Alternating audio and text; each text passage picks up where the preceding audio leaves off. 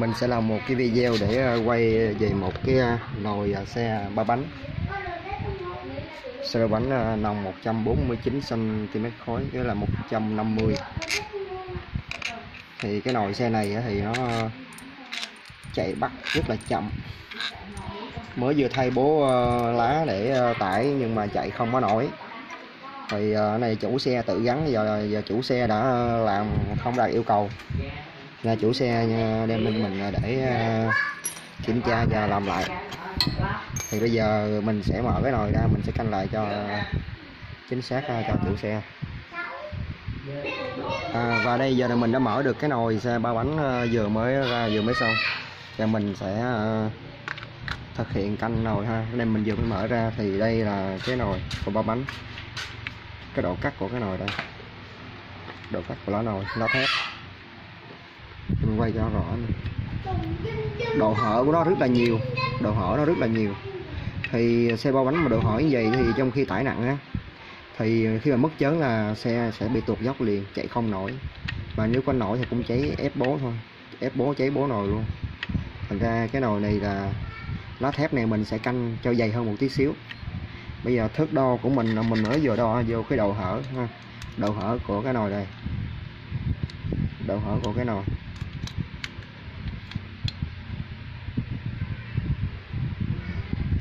Trên cây thước chỉ số của cái nồi là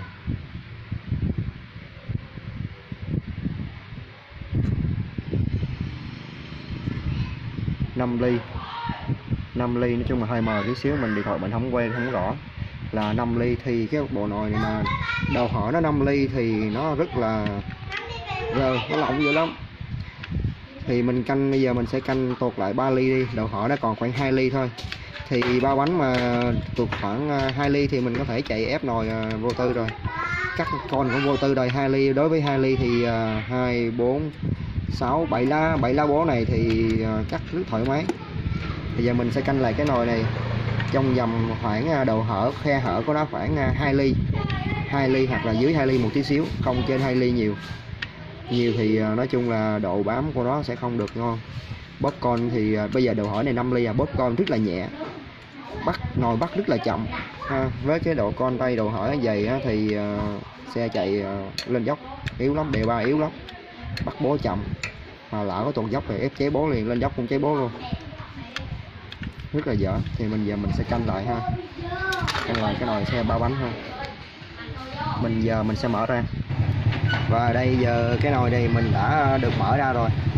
Thì cái đầu hở của từ cái mặt nhôm trên đây.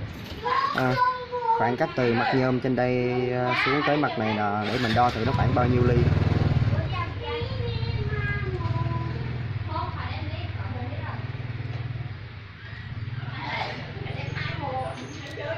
Trên thước đo chỉ số của mình là 4 ly rưỡi. 4 ly rưỡi thì giờ mình sẽ canh lại ờ, cho nó ờ, thấp lên một tí xíu. Đây, và giờ mình đã làm cái bố nồi mình canh chỉnh xong rồi thì bây giờ cái đầu hở của nó đã được ờ, rút ngắn lại. À, rút ngắn lại rồi.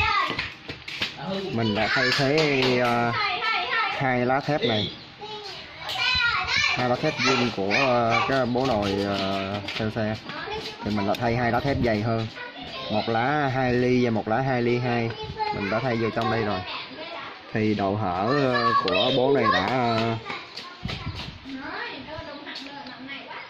bớt lại rồi, thì cái nồi này sẽ bắt nhanh hơn. Như đây rồi, cắt thoải mái rồi. Đây, đồ cắt đó đây đây. Cắt rất là thoải mái. Vì những cái lò xo này nó đến ờ, sáu cái lò xo rồi. Nó rất là nhỏ. Lò, thứ nhất là lò xo nhỏ. Mà nó sáu cái lần thành ra là nó phải xài cho nó ờ, cắt ít một tí xíu thì khi mình tải nặng nó mới chịu nổi.